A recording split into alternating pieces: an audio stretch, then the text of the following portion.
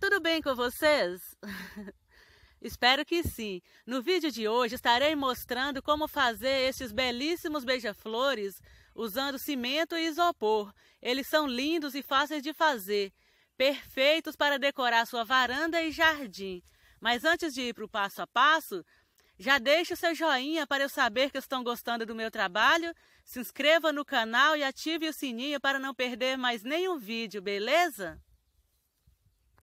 Para que o nosso beija-flor fique leve, vou fazer o corpo com um pedaço de isopor e vou usar tiras de tapete para fazer as asas e a cauda. Depois de cortar o isopor no formato do corpo, eu separo um pedaço de arame para fazer o bico. Corto a tira de tapete no formato das asas e cauda. Faço cortes no isopor para encaixar a cauda. Faço cortes também nas laterais para encaixar as asas. Estou feliz demais com o apoio de vocês. É cada mensagem linda, carinhosa.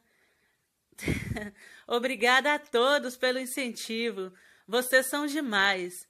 Que Deus abençoe cada um de vocês, meus seguidores queridos. Voltando ao nosso beija-flor, depois de fixar as asas na posição, corto dois pedaços de arame para escorar as asas para cima. Quero as asas erguidas para quando eu colocar o beija-flor na roseira, parecer que está voando. Fiz um gancho de arame, tipo um elo de corrente, para fixar nas costas e poder amarrar uma linha para poder dependurar. Usei duas colheres de cimento e duas de areia fina peneirada. Coloquei água aos poucos e fui misturando até ficar essa massa cremosa. Umedeci o nosso beija-flor e vou passar uma camada dessa massa cremosa no corpo, asa e cauda. Só não passo no bico. Vou deixar aqui quietinho, dependurado, e depois que secar, essa massa vira uma crosta dura. Agora que o nosso beija-flor secou, chegou a hora da modelagem. Vou colocar pouca massa para não ficar muito pesado. Vou espalhando a massa para tampar as imperfeições e alisando com o pincel para dar uma suavizada. Para minha massa de modelar, eu usei duas colheres de cimento e duas de argamassa e coloquei um pouquinho de cola. Coloquei água aos poucos e amassei bem. Estou usando a colher como medida porque os beija-flores são pequenos e vai pouca massa. Como eles vão ficar expostos ao ar livre, vou preparar aqui o meu impermeabilizante caseiro. Vou utilizar meio copo americano de água uma colher de cimento e uma colher de cola branca. Misturo bem e dou um banho nos meus beija-flores. Estou falando no plural porque estou fazendo dois beija-flores. Estou mostrando apenas um porque o passo a passo é o mesmo.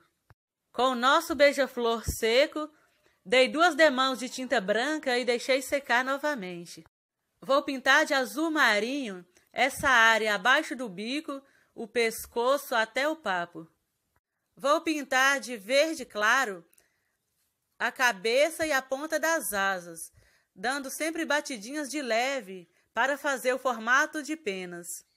Vou pintar de verde musgo o peito, as costas e parte das asas. E a cauda eu pinto de azul marinho. Uso o cabo do pincel para fazer os olhos. Faço assim. Molho o cabo do pincel na tinta preta e encosto de leve no beija-flor para fazer os olhinhos. Fica bem realista. Com a tinta preta, eu pinto o bico e faço também os pezinhos. Com o auxílio de um lápis, vou riscando os detalhes das penas da cauda e das asas. Agora deixo secar, passo o verniz e está pronto.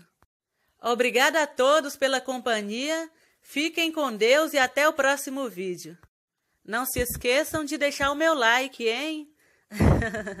Beijos!